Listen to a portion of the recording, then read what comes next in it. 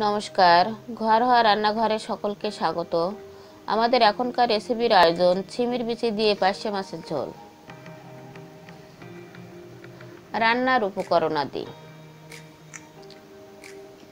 সিম থেকে বিচিগুলো বের করে নিয়েছি। এই বিচিগুলো এখন কি করব? জলে ভিজিয়ে রাখব দশ মিনিট।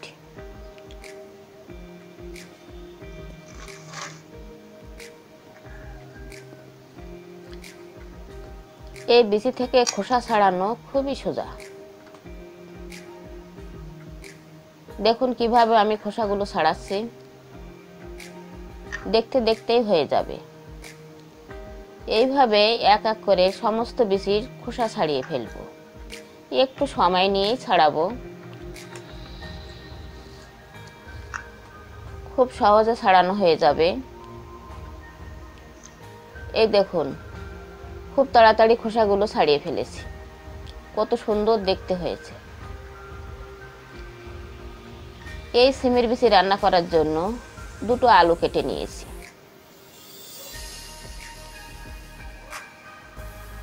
আলু দুটো একটু হালকা করে কেটেছি।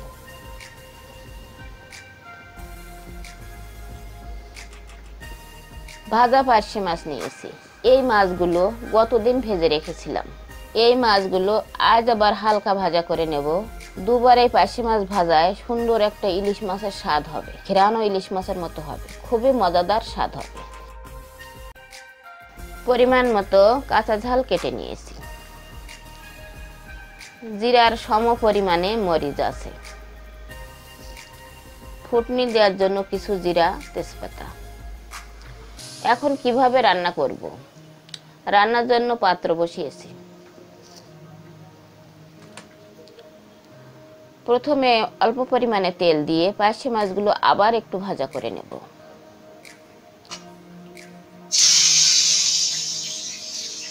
এই দুইবার পার্শে মাছ ভাজার স্বাদই আলাদা। সবগুলো মাছের পেটে ডিম আছে। আপনারা তো সবসময় একবারই মাছ ভাজা করে খেয়ে থাকেন হয়তো। এইভাবে দুবার পার্শে মাছ ভাজা করে খেয়ে দেখুন কেমন স্বাদ পাবেন। একটু এপিট ওপিট করে নামিয়ে ফেলব।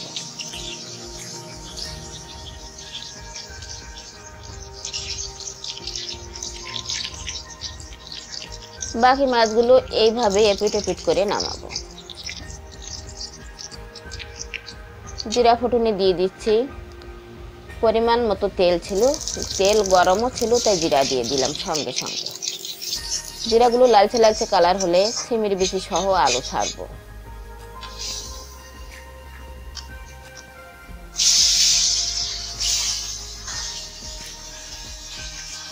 সুন্দর করে নাড়িয়ে দেব। পরিমাণ মতো হলুদ দিলাম, লবণ দিলাম। লবণের পরিমাণটা কমই দিয়েছি। তরকারির ভেতরে সুন্দর একটা মিষ্টি মিষ্টি স্বাদ থাকবে। ভালো করে এপিট ওপিট করে লবণ, হলুদ, তেল মাখিয়ে ফেলি।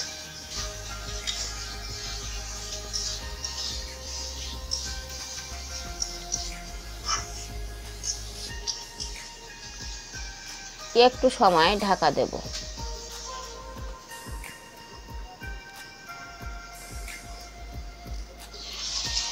ঢাকা দেওয়ার কারণে জলাভাবটা বেশি হয়ে একটু ভাজা ভাজা কালার করে জল দিয়ে দেব। আপনারা চাইলে পেঁয়াজ, রসুন বাটা, আদা বাটা দিতেই পারেন।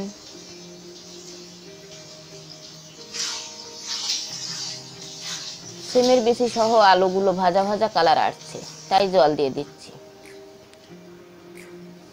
জলের পরিমাণটা একটু বেশি দেব। সিমের বিচি আলু সুন্দর সেদ্ধ হয়ে যাবে, মাছ দেব। জিরা মরিচ মাছ সহ চার পাঁচ মিনিট ফুটবে, আরও ঝোল থাকবে। ঝোল ফুটছে। তাই হালকা নাড়িয়ে দিলাম। তরকারিটা একটু রস রস থাকবে, একেবারে শুকনো রান্না করলে ভালো লাগবে না।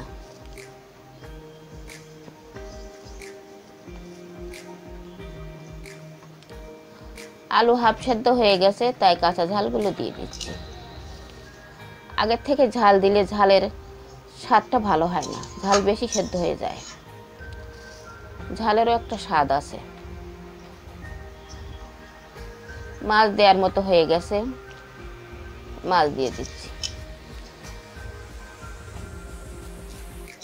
মাছ দিয়ে হালকা নাড়িয়ে দেব যাতে মাছগুলো ভেঙে না যায়।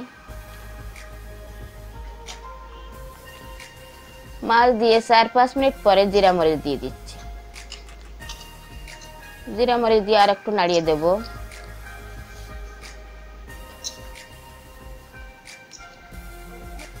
তেজপাতা দুখানা ছেঁকে তরকারি পরে ছাড়বো, সুন্দর একটা ঘেরান হবে।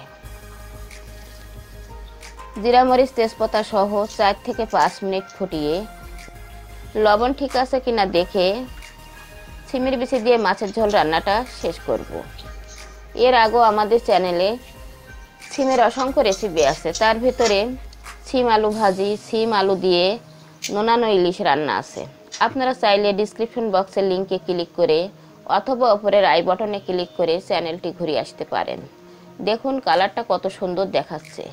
এর উপরে ভাজা ধনিয়া কিংবা জিরার গুঁড়া ছড়িয়ে দিলে যেমনই না ঘেরান হবে, তেমনি স্বাদ লাগবে। এইভাবে সিমির বিচি ছাড়িয়ে রান্না করে খেয়ে দেখুন, খুবই মজাদার স্বাদ পাবেন।